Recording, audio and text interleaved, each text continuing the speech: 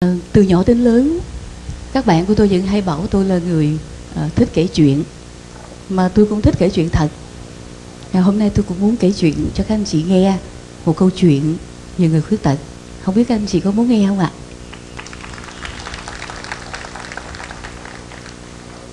À, nhưng mà trước khi kể chuyện thì tôi muốn hỏi các anh chị là các anh chị có biết là hiện giờ ở thành phố Hồ Chí Minh của mình có bao nhiêu người không ạ? Dân số thành phố Hồ Chí Minh đó khoảng bao nhiêu ạ? À? 10 triệu không? Khoảng 10 triệu đúng không ạ?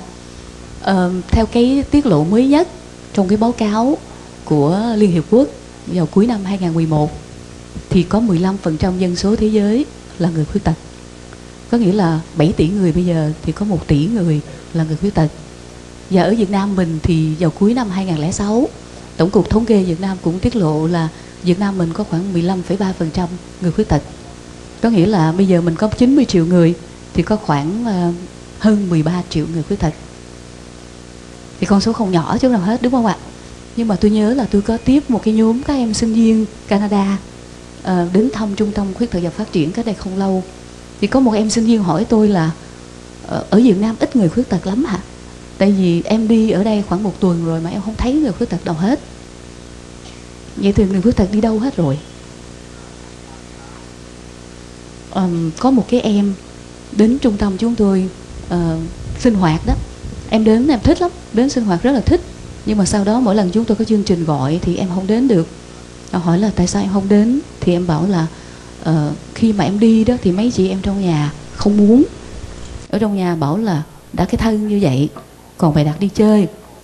Ở trong nhà giúp được việc nhà chút đỉnh phụ người này người kia còn có ít hơn. Thành ra ở nhà không ủng hộ em đi ra ngoài à, có một em khuyết tật khác nữa. Thì em này bị rất là nặng. Em phải ngồi trên xe. Và em đi học thì bạn mình giúp đẩy đi học.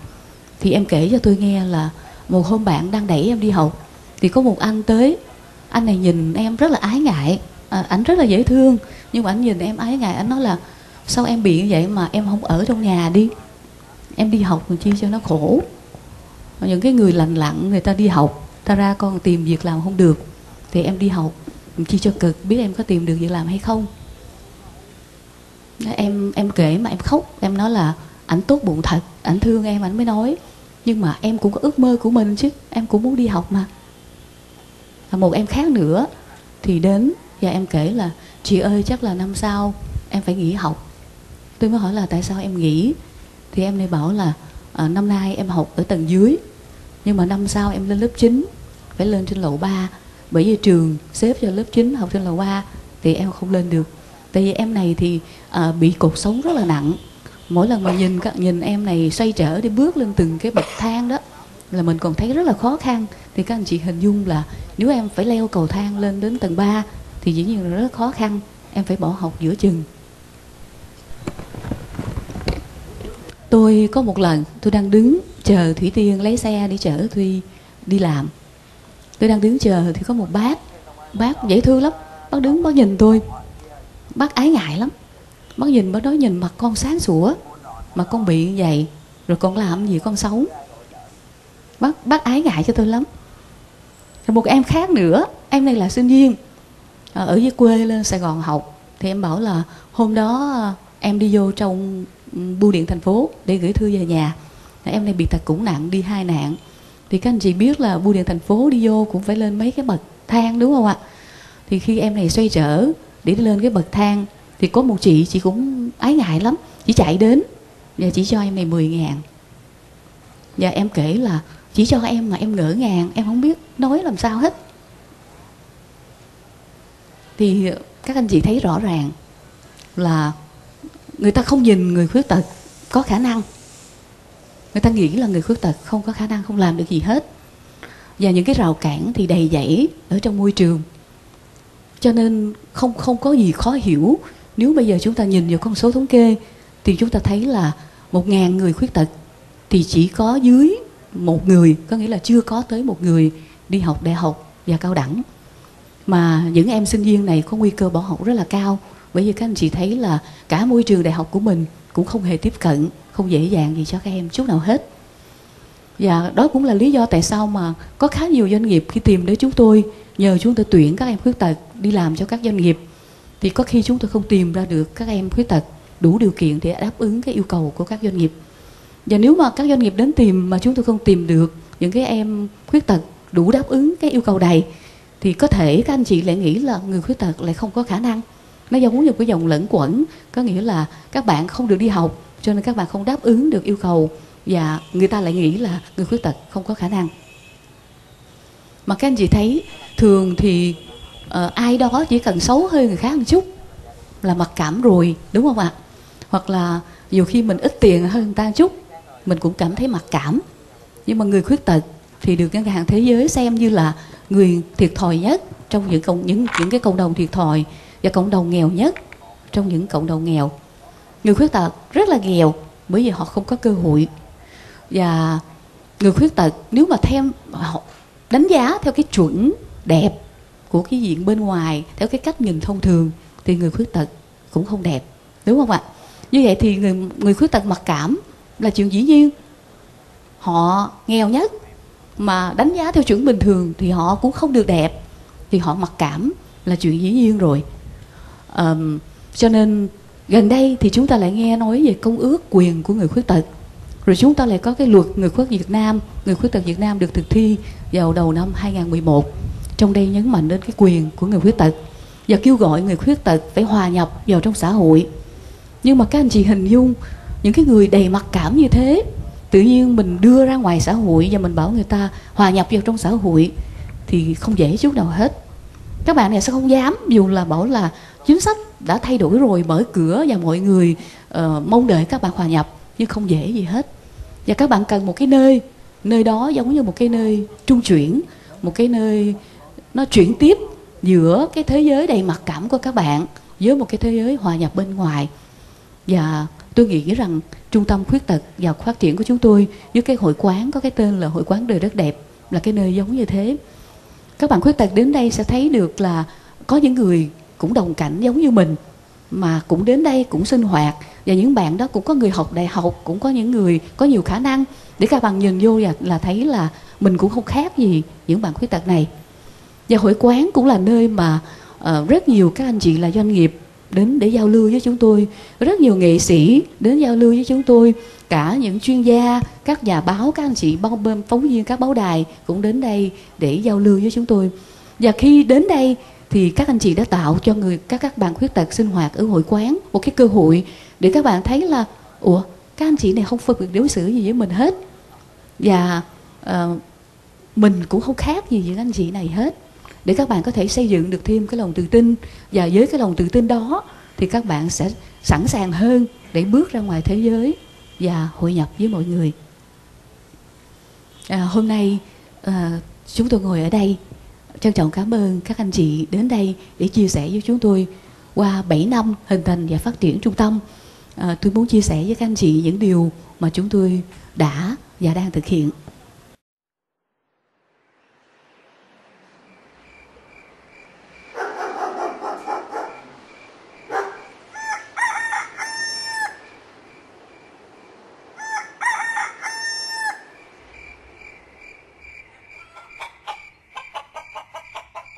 Chứ thật ra ngày xưa em sống với ba mẹ. Chứ còn bà ngoại nghĩ là mình khuyết tật mình không có đi đâu đâu nên là không có giấy tờ. Tới tới lúc mà bước chân lên thành phố rồi lúc đó mới à, đi làm giấy tờ. Giấy tạm vắng một chú gì cũng có giống như là mình đang sống qua dòng pháp lực vậy giống như là gia đình em chỉ có biết là có hai người con thôi. Không biết em là người thứ ba. À, hàng xóm ở gần đó, chừng nào quen lắm người ta mới biết thôi tại suốt ngày đâu có ra ngoài đâu, nên ta đâu có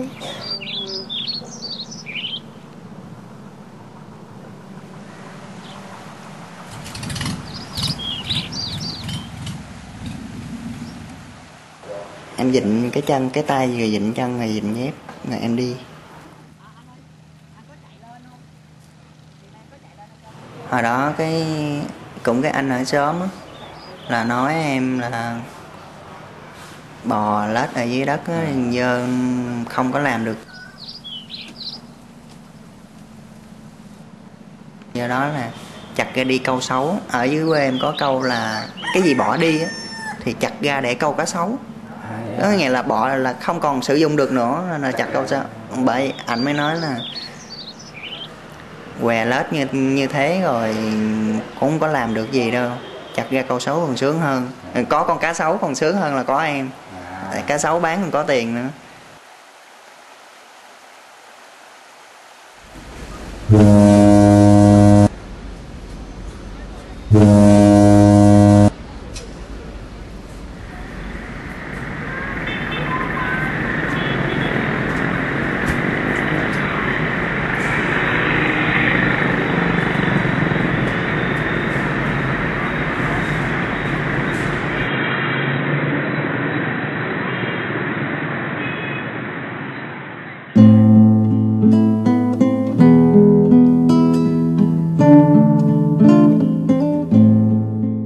Huang Ian was a born fighter.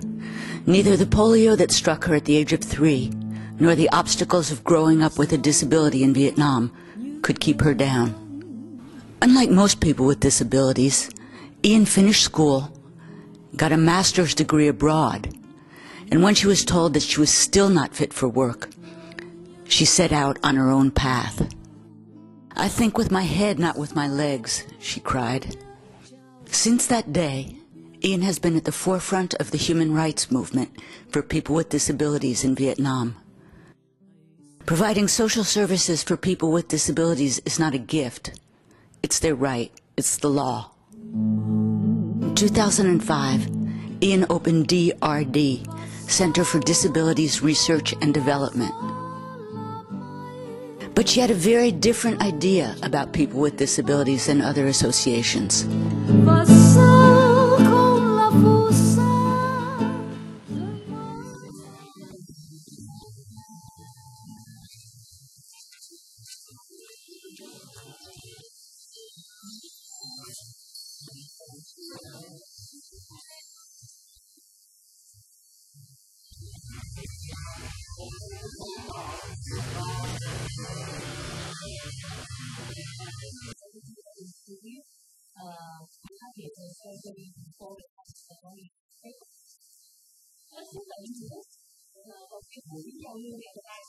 À, và đầu tiên là sẽ mời uh, nhóm My Future. À, các bạn các em sẽ lên có một màn biểu diễn. Kính thì lên trên đây thì thấy nó rộng lớn thấy mình giống như là mình ờ, rơi vào ờ, một thế giới khác. Trước kia em rất là, là, là rụt rè trong trong cuộc sống. Em ít tiếp xúc với mọi người.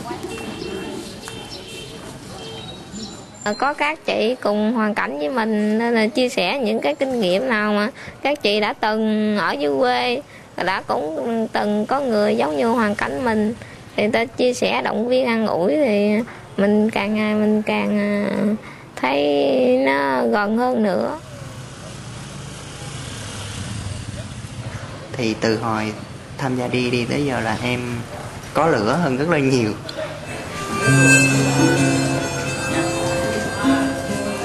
Today, DRD has over 500 beneficiaries and welcomes new people all the time.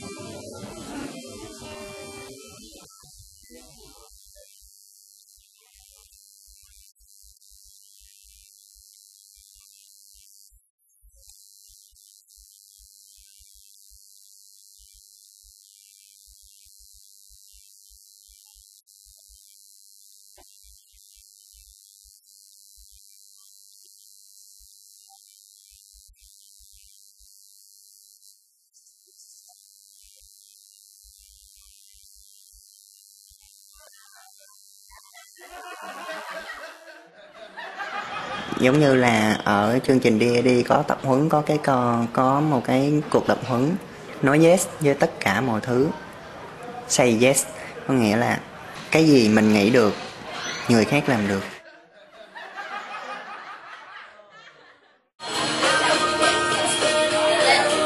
The most difficult thing for people with disabilities is getting around.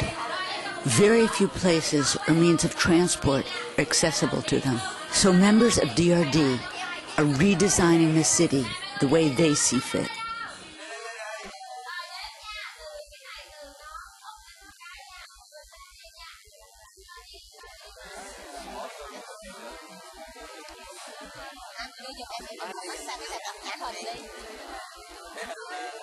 How about this side? Yeah! Chúc mình thì thật ra cái công trình này là bản đồ tiếp cận của nhóm mình nghĩ ra thì ngoài cái à, bệnh viện tiên hoặc là cái sở thú hoặc là cái à, nhà hát hay là các bạn đến bệnh viện thì mình không biết là cái ấn tượng đầu tiên của các bạn. À, các bạn nhìn thấy à, là muốn dơ rồi không? Phải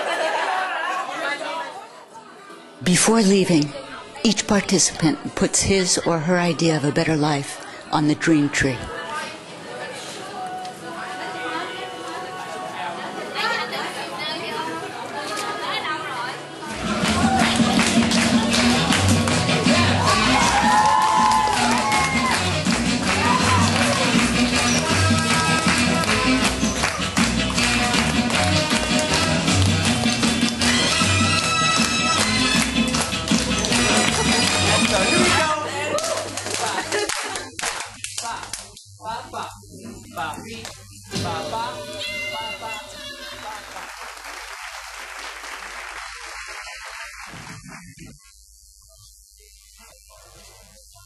Thank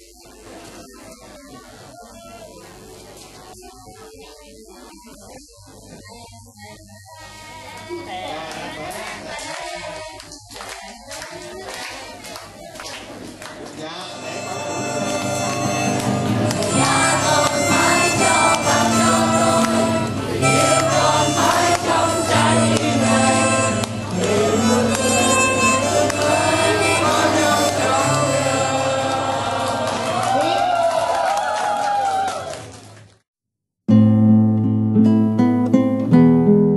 The greatest accomplishment of Voti Huang Yin and DRD has been transforming self-image. From dark rooms and mouths of crocodiles, people with disabilities come to realize their full beauty and potential.